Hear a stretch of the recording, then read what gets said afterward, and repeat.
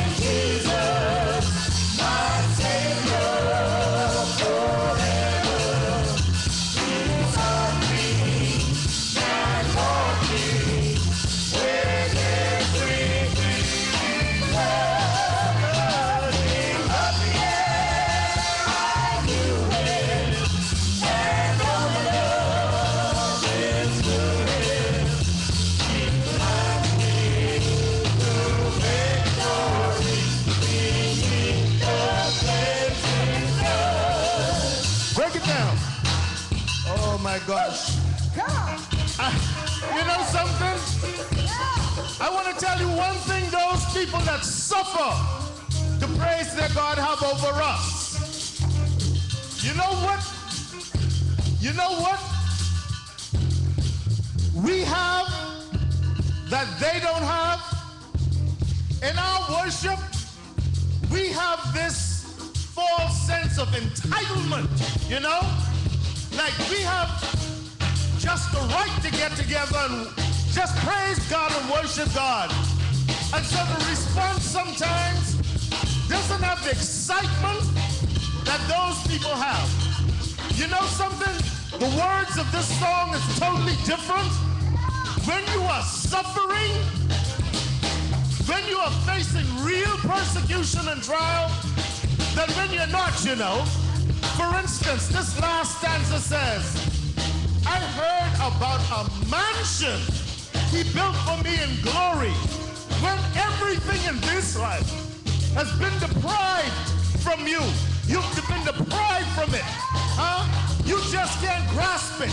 You can't even think about it. You can't even hope for it.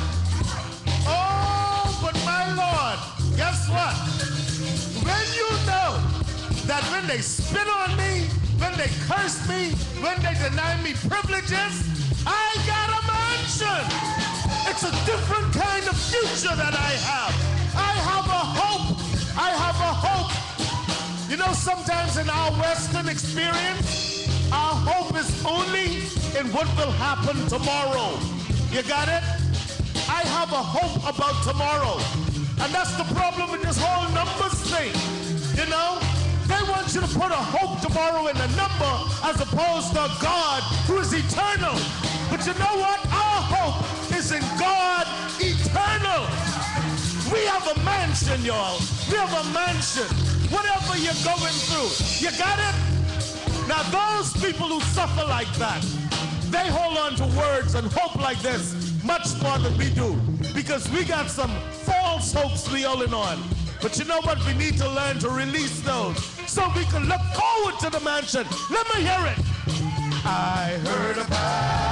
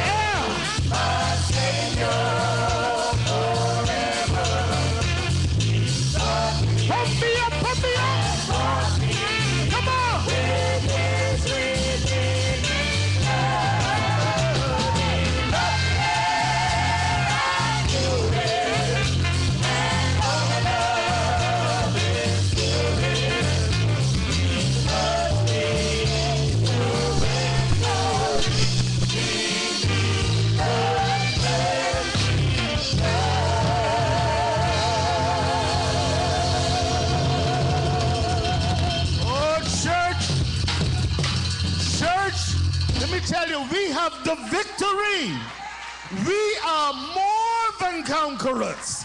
This is a finished situation. Don't worry about how it look. Don't worry about how it look. We have the victory.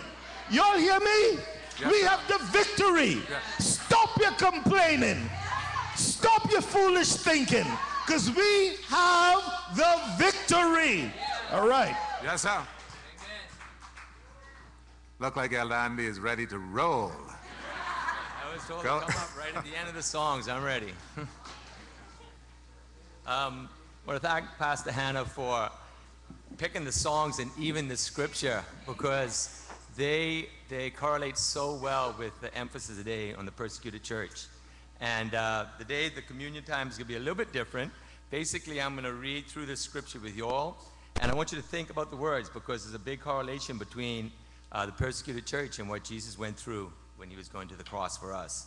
All right, so meditate on the words as we read them together. It's 1 Peter 3:18, Isaiah 53 verses 3 through 10, and Romans chapter 5 verse 6 through 8. I'll read leader and you guys respond with all. For Christ died for our sins once for all, the righteous for the unrighteous, to bring you to God. He was put to death in the body, but made alive by the Spirit. You see, at just the right time, when we were still powerless, Christ died for the ungodly.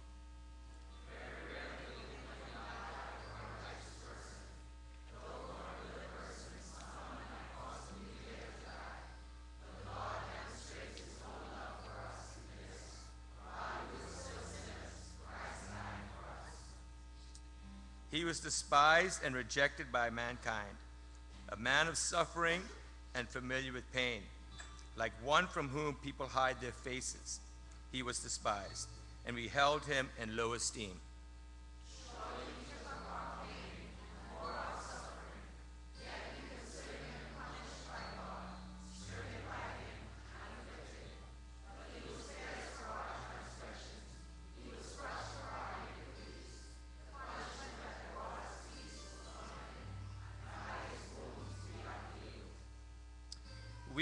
Like sheep, have gone astray.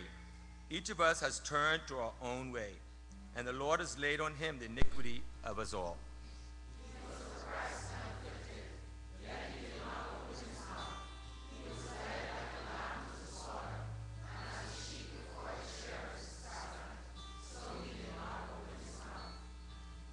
By oppression and judgment he was taken away. Yet who of his generation protested? For he was cut off from the land of the living. For the transgression of my people he was punished.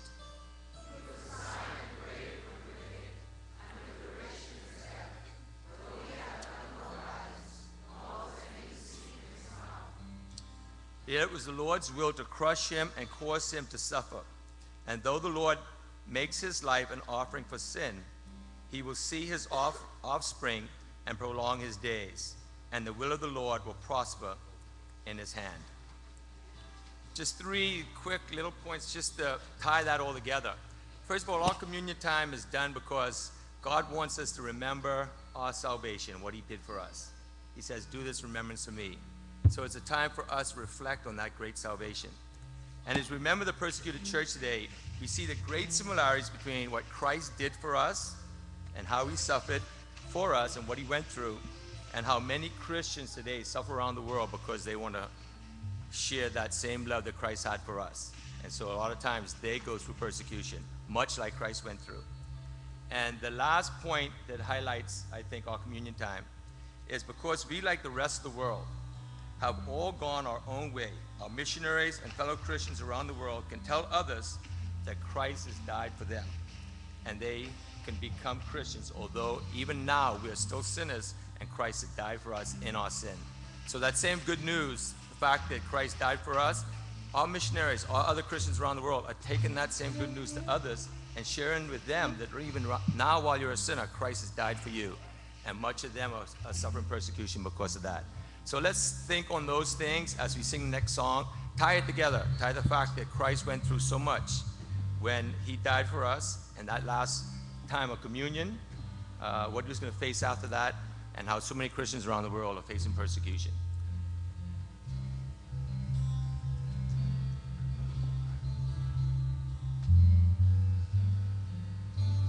As we, as we break the bread too, if you're a Christian, take the bread, hold it until we all eat together.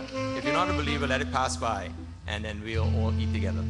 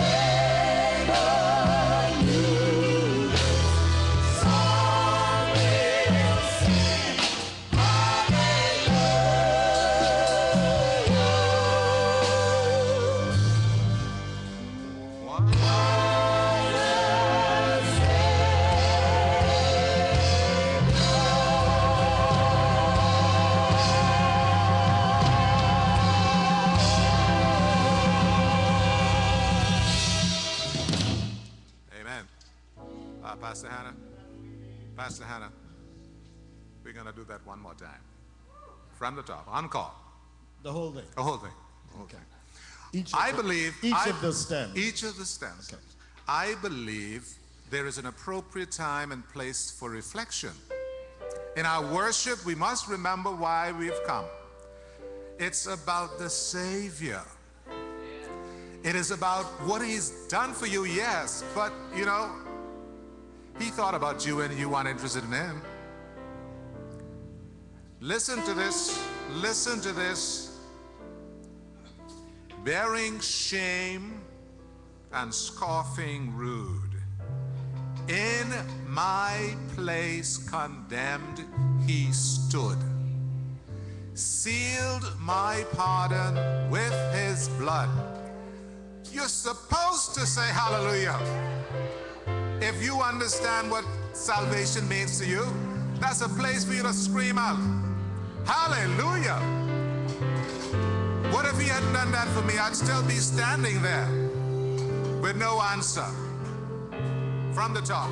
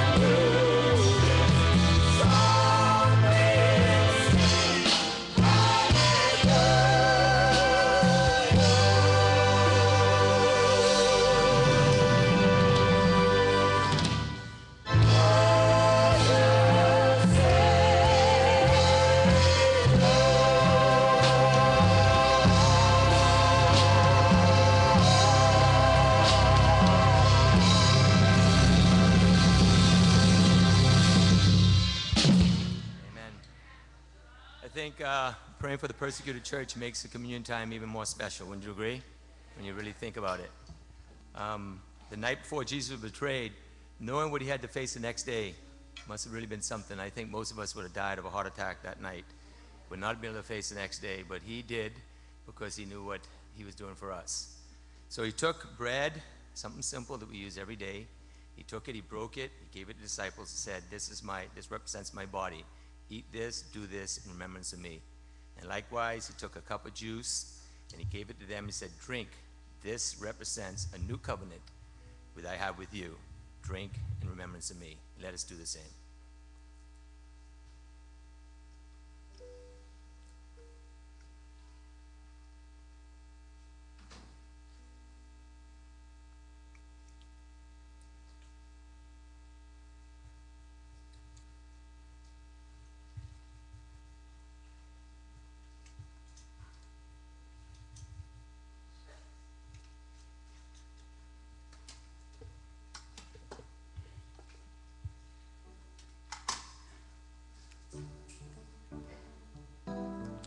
Are you looking forward to his return? Boy, sometimes when you wake up in the morning and everything is hurting, Lord, come now. When you see those bills, Lord, where are you? Jesus, take the wheel. Let's together just reflect on his words as we remind ourselves that he is coming back. He is coming back for the redeemed. And we are going to read this morning from Isaiah 53, 11 and 12, Zechariah 12 and 10, verse 13, chapter 13 and verse 6, Revelations 1 and 17, Isaiah 52 and 10. Just looking forward to his return, our Lord and Savior. After he was he has suffered, he will see the light of life and be satisfied. By his knowledge, my righteous servant will justify many, and he will bear their iniquities. Therefore, I will give him a portion among the great, and he will divide the spoils with the strong, because he poured out his life unto death, and was numbered with the transgressors. For he bore the sins of many, and made intercession for the transgressors. They shall look upon me, whom they have pierced. One shall say, What are these wounds in thine hands? He cometh with clouds, and every eye shall see him. The Lord had made bare his holy arm in the eyes of all the nations, and all the ends of the earth shall see the salvation of our God. Let's stand together as again we look forward to the return of our Lord, our risen Savior, our soon coming King.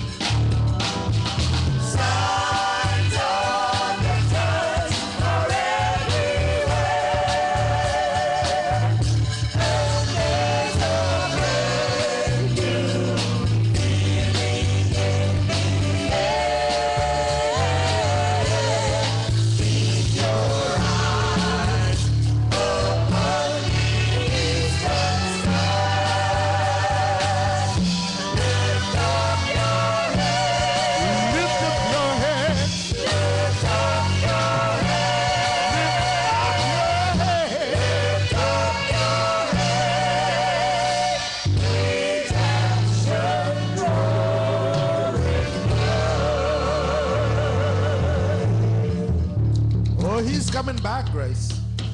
He's coming back. As we continue our focus on the suffering church, I'm going to invite Elder Andy Knowles to come at this time and to introduce a video presentation. All right, what we want to do uh, as far as praying for the persecuted church, we're going to have a four minute video, uh, Gospel for Asia. Uh, it ha- really highlights a lot of the needs in different countries and what a lot of the believers are going through. Uh, we're going to show that, and then after that, we're going to highlight the things that you saw in the video. We'll have the countries and the needs will come up and the prayer emphasis. All right, so we'll go to the video. Then after that, we'll put up on screen for everybody to break into groups four or five, and we'll take between five and ten minutes and pray for the needs that you see represented in the video. Now, there might be other needs you know as well. There's other countries that aren't listed, but you know, like Iraq, Iran, Afghanistan. There are some of the ones that might not be listed, but you can pray for those countries too. A lot of the Arab countries that the Christians are really um, persecuted in. All right?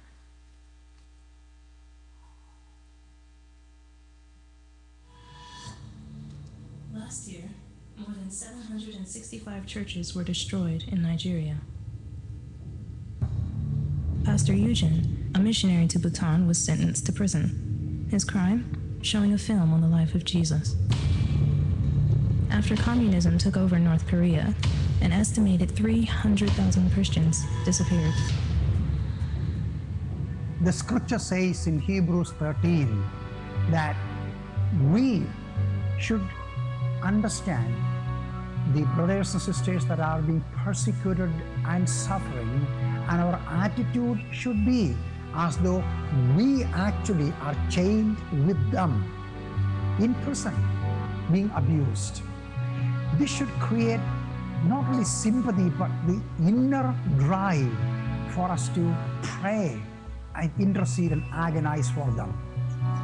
This way, we share in the suffering of Christ on the behalf of his body, our brothers and sisters. Please let us give priority for prayer at this time on the behalf of the suffering people of God around the world. On the first day of classes, the Sudanese Air Force bombed a Samaritan's Purse funded Bible college. Amazingly, no students or faculty members on campus were harmed, but two buildings were destroyed. The Burmese army is doing its best to rid Burma of the Kachin people, a predominantly Christian people group. One man who had lost one of his children asked me, Who cares? And who do I complain to? Holy Trinity Church of Moscow was destroyed on September 6th with government approval. The pastor, Vasily Romiuk, was forced to stand and watch as everything of value was carted off by the police. An estimated 30,000 Christians are currently detained in labor camps throughout North Korea. Conditions there are brutal. Half of them die from starvation or malnutrition, while the rest succumb to exhaustion, disease, and torture. After Egyptians rallied together to overthrow their country's dictatorship, Muslim radicals began burning Christian owned buildings, kidnapping people, and threatening that any Christian who dares to leave his house will be killed. Asiya Bibi, a Pakistani wife and mother, was beaten, charged with blasphemy, and sentenced to death. Her crime was boldly declaring to mocking coworkers, Our Christ sacrificed his life on the cross for our sins. Our Christ is alive. On July 23rd, Pastor Conachin George was kidnapped and forced to endure a week of near death torture. They pointed the gun at me and they're saying, Yes, come. Immediately, as soon as I entered into the vehicle, they start the vehicle. Within a second, they move like fast like anything. And they were tidying my both hand backside. It was so painful. And sitting in that place for 12 hours a day.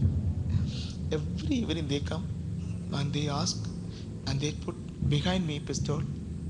And I said, I am a servant of God. I am a pastor. I have no money. After Sunday night, four night, we were desperately in a jungle. It was completely rainy, and we couldn't. They, they, they have no no shelter, nothing as such. I had only a small mat covering my myself. I could not I could not see because so many mosquito was coming. Mosquito, mosquitoes was coming in hundred, you know, not one or two. And my eyes were tight, and I couldn't see anything. Nobody is with me. This fellow with angry mood, they came and they tied me and they left. And all my joints are paining like anything. I can't do anything. I can't move. I cannot do anything in my life. Then around one o'clock, this boy came and he said, "You can. We are going to release you." I felt the presence of God because of our people praying around the world, and because of their prayer, I'm, I'm, I'm alive. I'm back to life. I want to request them, please kindly uphold our leaders and our pastors and the belie- and our believers and the ministry that we have in Northeast.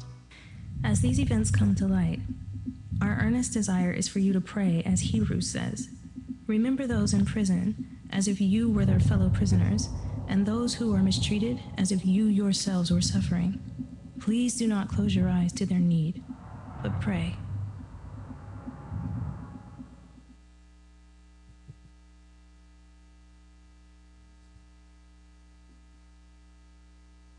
Those same prayer requests that they put up there in the video are the ones we're going to highlight, how we could really pray more intelligently for the persecuted brothers and believers around the world. And uh, I'm highlighting the, the needs we just saw. So I want you to just pray those three specific prayers, all right, along with the specific needs we saw in the video. And then, like I said, anybody else who might know from the Barnabas Fund, um, the magazines, other things that you might know um, concerning persecuted church, please pray for them as well. All right, so let's take a little time, turn around with each other, and groups of four or five, and it'll be posted up here. Specific needs, if you can't remember what they were in the video, okay, we're putting them up so that you could look at them and be specific in your prayers. I truly believe us praying makes such a difference. The gentleman in the, in the testimony you saw, that was an answer to prayer. Just like Paul in prison, it was an answer to prayer. Christians praying, miraculous things happen. So let's pray for our brothers and sisters.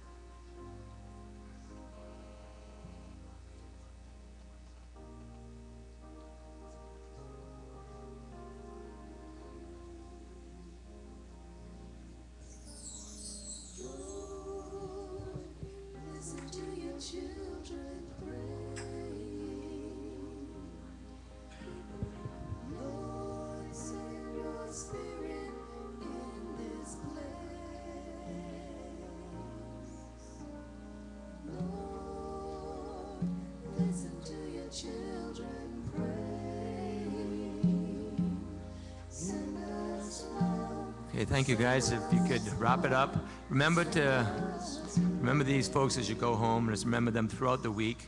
And um, they're highlighted right here, some of the things we saw in the video. Let's remember to continue to pray for them because God will work in and through us, in and through them, and in through those who've being persecuted, changing their hearts that they might come to know Him. Thank you.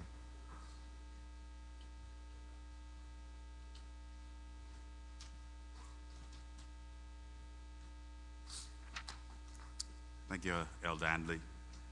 We want to say a special welcome to those folks, folks who are with us this morning visiting. And uh, we have a group who's here and uh, some other individuals whose names are highlighted in our guest book. Uh, unfortunately, they're intermingled. So I'm going to do something just a little different. And I'm going to invite uh, those persons who are visiting uh, the group from the Bahamas, from Bahamasair. If, if, if you can stand, those of you who are here from the Bahamasair Pension Fund, um, please, please stand so we may say a special hello to you. Yeah. Welcome, welcome. These ladies and gentlemen would have put their time in and are all retired and enjoying the wonderful life of retirement. So it's good to have you here with Grace this morning. For those of you who are also visiting for the first time here at Grace, if you are with us here, please stand so we may say hello, or we haven't been here for a very, very long time, and we just want to say hello. So if it's your first time, please stand. We have a visitor in the back. Is there anyone else? Another lady in the middle here. Thank you so much. Thank you so much uh, for coming out this morning. And certainly for all of you, we're hoping that you will remain behind the church just for a few moments. Uh, we have some light refreshments that we've made for you. Uh, more importantly, an opportunity for our leadership to get to say hello, touch you, and uh, certainly extend an additional invitation to you come and visit with us once again. And so, on behalf of the leadership, it is my privilege to welcome you all here this morning. At this time, I'm going to call Adam to assist us with our scripture verse to remember.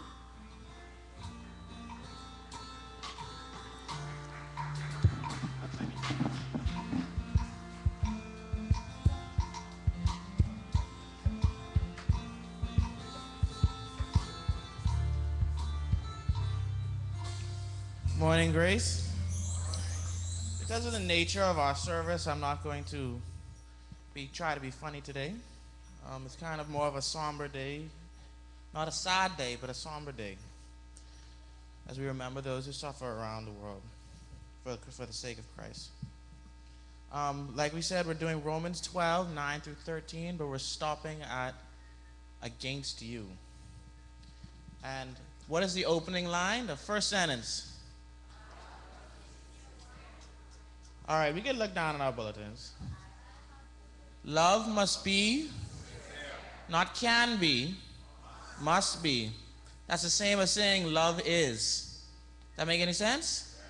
Love must be sincere, otherwise it is not love. He says it right before giving us our instructions. All right.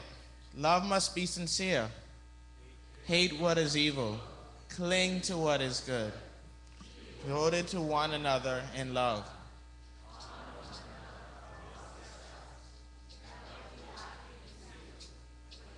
Spiritual fervor. Serving the Lord. Be joyful in hope. Patient in affliction. Faithful in prayer.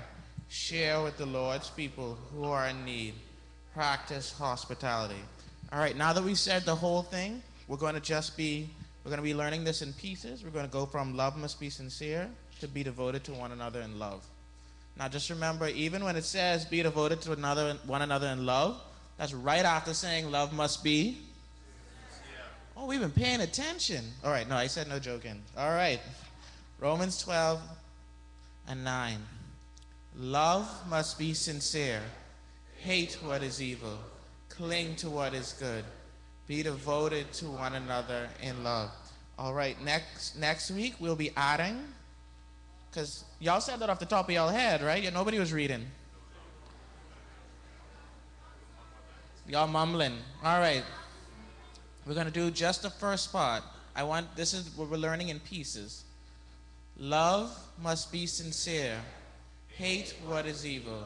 Cling to what is good. Be devoted to one another in love. Next week, we'll be adding honor one another, another above yourselves.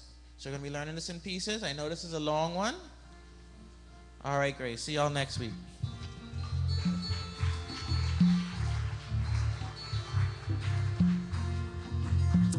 Birthdays, celebrating birthdays this week. We want to say a happy birthday on November 17th to Wendell Munnings, Jaden Jones. On the 16th, uh, and, and Ty, uh, Marion Evans, Cindy, Sydney Stirrup. On the 15th, celebrating birthday will be China Curry, Gabriel Mishevich. Um, on the 14th, Lenora Wilson, Gertrude Ferguson, Chris Smith, and Mateo Smith. And celebrating on the 12th, we have Nathan Loshan, uh, Tony Williams Jr., and today celebrating birthday is Melissa Hutchison. So that's a lot of persons celebrating their birthdays this week. So a happy, happy, happy, happy birthday to all of those persons. And Emily Munnings is also on the 17th as well. Uh, we neglected to put that inside the bulletin, but please pay a special note to that. Thank you, Wendell Munnings. Also, um, anniversaries. We don't want to forget those persons who are just uh, wonderfully enjoying uh, matrimony. And on the 12th is Danny and Lenora Wilson. And I don't know if I spot Sean, those here. Sean and Renee Moore. Are they here this morning? Enjoying today. So just remember them. Today they celebrate their anniversary. And so we just want to uh, ask God's continual blessings on their marriages. And for those who are celebrating birthdays, may God continue to bless your lives. I'm going to invite our Sunday school and our, our is any of our birthday celebrants here? I'm sorry, I'm sorry. Let's, I'm sorry. I, I've been told that we need to do this jingle, and I apologize for those of you who are celebrating this week. Let's do our jingle, and uh, again, this is the opportunity for us to tell you we love you and happy birthday. God's blessings on you.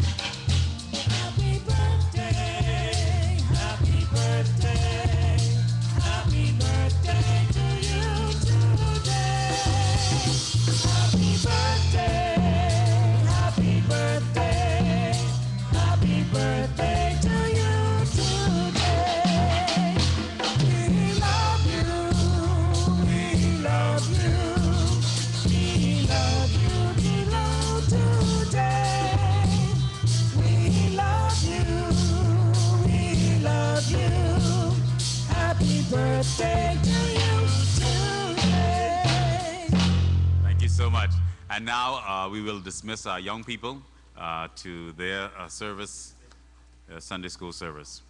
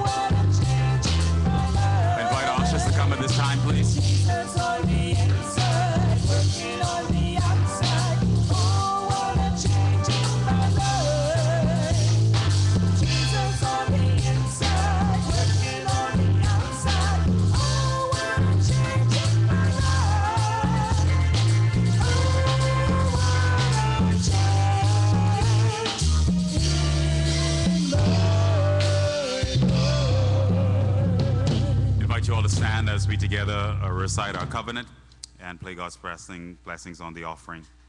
Shall we together as we read from Proverbs 3 9 and 10, Luke 6, verse 38. Honor the Lord with your wealth and with the first fruits of all your substance. Then your barns will be filled to overflowing, and your vats will brim over with new wine.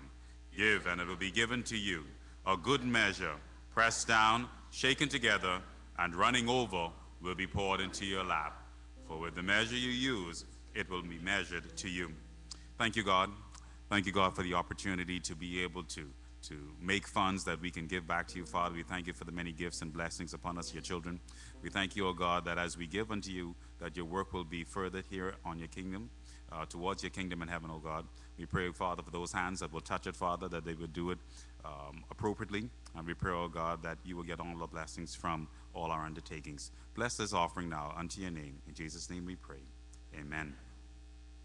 As we want to get our senior pastor on with the word, uh, we're going to do the announcements during the offering this morning.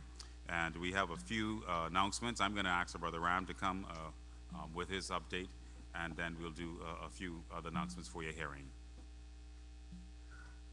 Uh, right after that, brother Naldo, you can come.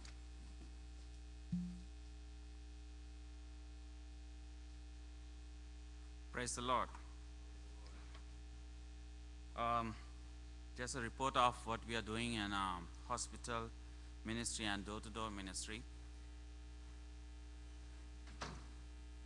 When you when we complain about our our cold or fever or pain in the knees or back, but when we go to the hospital, we really see how pain is what is mean by pain. A lot of people who coming to pray along with the patients, they're realizing how blessed we are.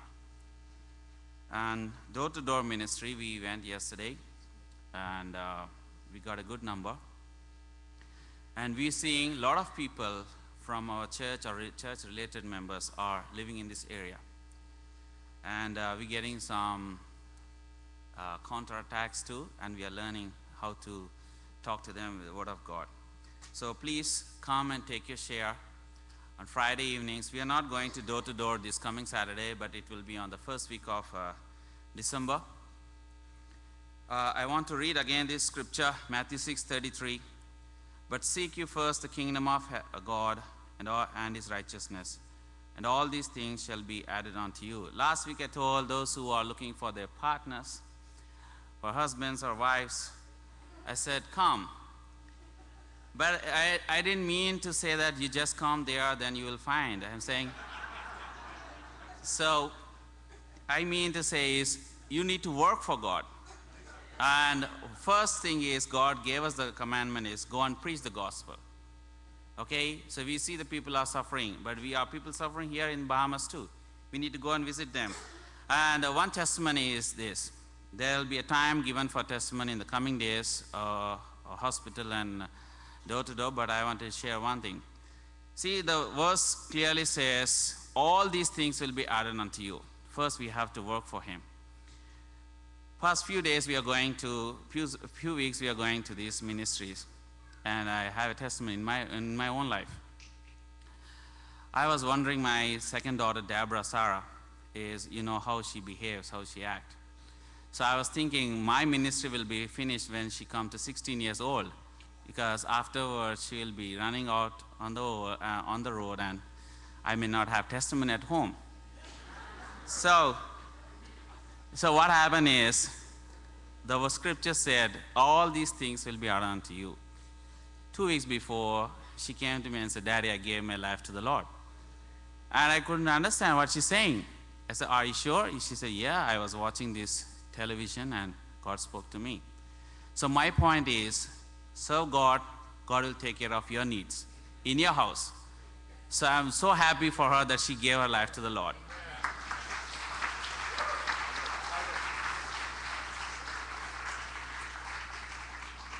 Good afternoon. I'm here for Breakaway, woo, and the Blaze. And November is our Suffering Church month as well, so I'm going to go through a, a list of announcements. I need you to pay attention. I have a lot that I need, I need to go through fast, okay? So, first, today after church, Breakaway and Ablaze students will enjoy together a Splash Sunday today at Casa Del Mare right after church. We eat together and play some games and go swimming. Now, the theme for today is a canned good to enter. So each person who comes has to bring a canned good for admission. Uh, these will be donated, and only members of Ablaze and Breakaway are allowed today at the, Spla- at the Splash Sunday. So after church, the pickup time afterwards is 5 p.m. So be there with your canned goods, Breakaway, and Ablaze students. Second, for the past 14 years, we've been celebrating the Suffering Church um, during the month of November. One of the events is for the month is the lock-in, which is this Friday, November 16th and 17th. The theme this year is Cries of Freedom. Registration is at 7 to 7:30, and you can go out. We're gonna have a table set up right outside after church with Breakaway. You can go there with your your um, your children and sign them up for this week. The pickup time is Saturday at 8 a.m. and the admission is $15. We'll also be selling green ribbons, which you may see scattered around today, uh, um, to donate $1 to get the green ribbon, ribbon to help with um, some items that we're purchasing for the Suffering Church. Also, um, on Friday, November 30th at 7:30 p.m., we'll host a silent auction as a fundraiser for our trip to the Acquire the Fire Youth Confer- Conference, which is in February. You'll be asked to purchase a ticket, come and bid on donated items on display. It is promised to be a very relaxing and enjoyable evening with music, conversation, and refreshments. Doors open at 7:30 and the bidding begins at 7:45 and ends at 9. Right? Um, the venue for the event I will have to get for you later. But um, the table outside will have tickets for sale for that. If you have an item that you want to donate for the auction, you can also let us know. And we also have letters available for businesses if you want to assist with soliciting items. And finally, during the month of November, we'll be collecting shoe boxes. We're partnering with an organization, IOT, um, which means it's our turn, uh, which is a youth organization in an initiative called Reaching the Heart with a Shoebox. The concept is during the month of December, you collect a shoebox, um, and each one of these boxes will have items that will be given to the elderly. Um, so we're hoping to distribute 200 of these shoe boxes to the homes for the elderly when we go Christmas caroling in December. There will be a box next week outside, so start bringing those shoe boxes next week. So anything related to Breakaway and the youth, come see us at the table after church today. Woo!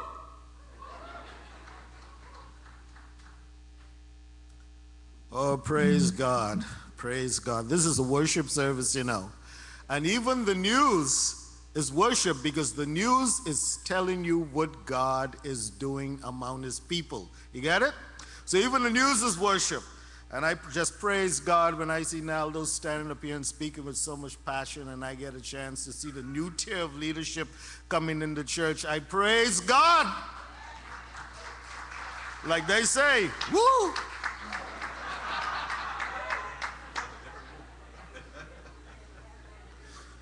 Naldo is a married man now, so that woo me, me and plenty things. So. so. Anyway, we leave that alone. No, but it's really a blessing when you see men like Brian and Adam and, and Naldo and, and um, all of them that come up here. Thank God. Grace, you know, we were praying this morning for the suffering church. But you know, truly, while we have the freedom, you know, when we pray for the suffering church, we're praying for them to be free to carry out the work of Christ. We are free to carry out the work of Christ, and we have a different prayer for us who are free, that those who are free will embrace their freedom to accomplish all that Christ intends to be accomplished through the freedom he's bestowed upon us. Grace, our senior pastor, Pastor Lyle Bethel, is at the center of organizing the fight on behalf of the Christian Council Against Gambling. And you know, you know, you know, Pastor Lyle have a hard mouth. It seems as though that's, that's just a quality you need to be pastor of this church or elder of this church. And of course, Pastor Lyle have the hardest mouth. But even hard mouth fellas sometimes, when they look at what needs to happen, they get scared and they wonder, can, can, this, can the Lord really accomplish this through me? I know at the beginning of this week, Pastor Lyle was feeling that because he expressed it to me. And, um, uh, and we prayed for him, and I think he felt on Thursday that he started to see a little turn in the atmosphere in terms of what the church was prepared to do. We saw the church come together in a unique way on Thursday, like we hadn't seen for a long time. Church leaders coming together and uh, coming together around this issue to tell you to vote no. The only way we are going to win this thing is if you feel that you have to get out there. Do not feel like it's over. We can win this, but you all have to get up and go out there and vote. You understand? It has to register. That's number one. Number two, the real strategy of how we're going to win this thing, and Pastor Lyle will be laying out some things that we're doing, but the real way we're going to win this is through prayer. Now, we have the freedom to gather in prayer. You see, we were just praying for other people's freedom, we were praying for them to have what we already have. Now, what we could do with it? Well, we get a chance to meet in none less than the public square downtown for prayer in the square. And we praying against an initiative that seemed to be pushed by the government. Well, we can pray against it. But you know what? When we meet in the square tomorrow as churches, they laugh us to scorn if we got two or three people there. Well, tomorrow night, Grace Praise Team is responsible for leading the worship, and we would like to see Grace out there in full force. Now, let me I'll be honest, we- don't want just see the 50 of us who would come up regularly when you call for prayer. You see, this is a time when you are going to stay to the nation what you believe, and this is a time when you're going to say to your God, I know I could approach your throne. So we're going to meet there at 7:30 tomorrow. Grace, please. This is serious business now. This is serious business. Let's show up there to appeal to our God to save our nation. That's our theme. Save our nation. 7:30 to 9, we'll meet in the square for prayer and grace. I am appealing to you. I am appealing to you. We need all hands on deck now. There's a new message. There's a new way of sending messages in this country, and nobody have a more potent message than the church. Please, Grace, please. I don't want to have to have Pastor Lyle come up here and spend his message time begging you. So the time I just took from your message, Pastor Lyle, I figure I'll beg on your behalf. Thank you.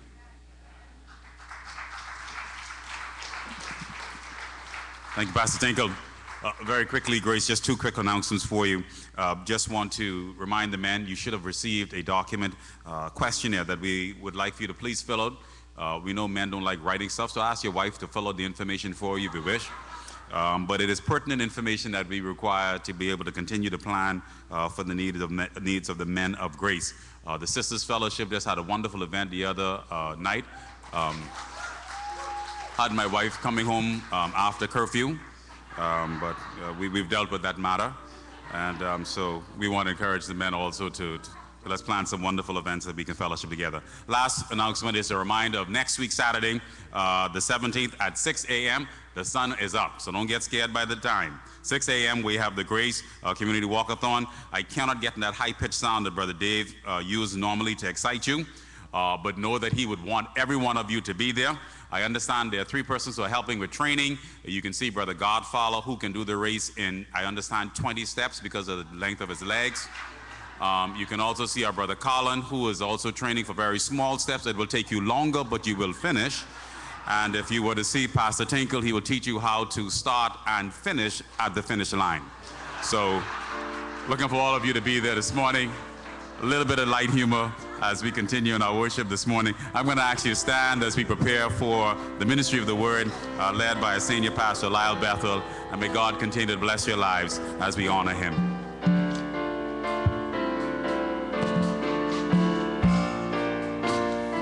Deserve the glory.